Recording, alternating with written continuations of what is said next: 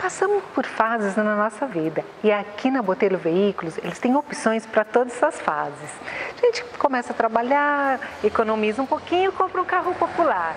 Depois, com esse carrinho, a gente começa a ir com os amigos e pega um carro esporte. Conhece a pessoa amada e vai para onde? Um carro família.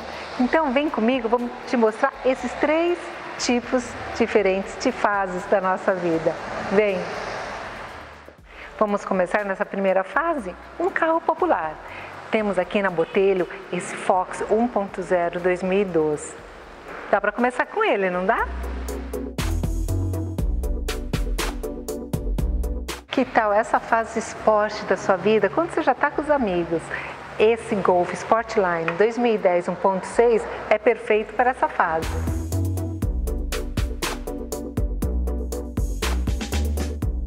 Você já passou pela fase econômico do esporte, agora para fase família.